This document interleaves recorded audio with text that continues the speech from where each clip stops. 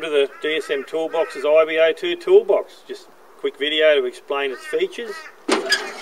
This is one of our most popular models with over 2,000 of these in service just alone for the Australian Defence Force.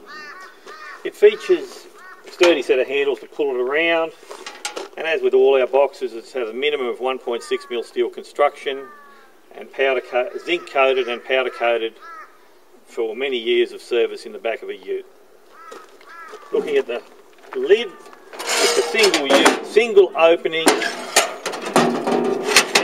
There's no having to muck around pulling out a pin or any such item. All the drawers in the DSM toolboxes are 60 millimeters except the bottom is an 80 millimeter drawer. The reason for this is that with deep drawers you're constantly digging for your tools as they, they shake like a gold pan and all your big stuff comes to the top and your small stuff comes to the bottom. So that's why we have that, dense, that um, depth of drawer. We don't have any wasted space between our drawers, so comparatively to any pin type toolbox, DSM toolbox is approximately one third smaller in size to have the same capacity of toolbox.